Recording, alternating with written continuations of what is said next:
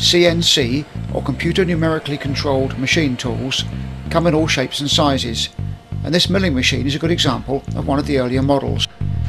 Although not as sophisticated or complex as newer machines, it's easier to see it in action and to understand the principles. A milling machine is one of the two basic machine tools, the lathe being the other.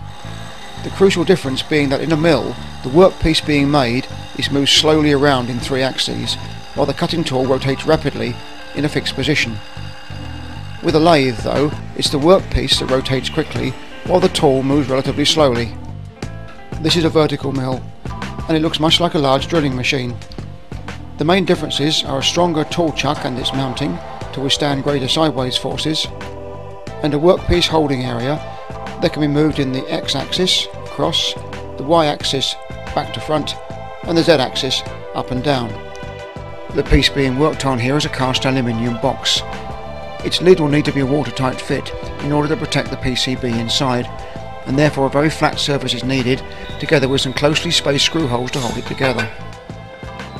First the box is mounted firmly into a machine vise. The facing tool is fitted to the chuck, and the height in the Z-axis is carefully set by pushing up and down buttons in the control console.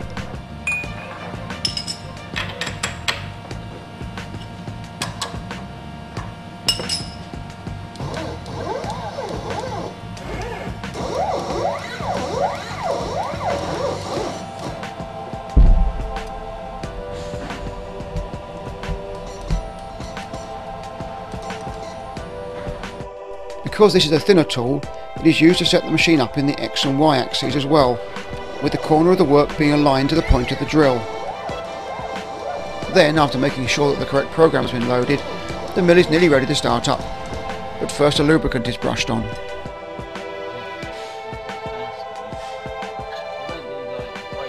The cutter will now follow a program path around the top of the box, and then drop inside to machine the steps.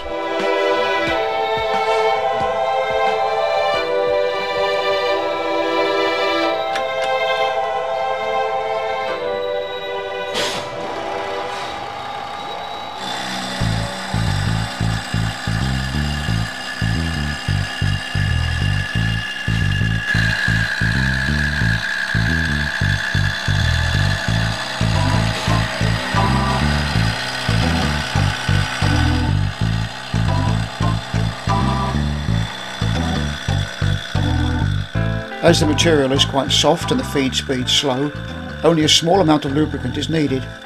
In this case paraffin is used.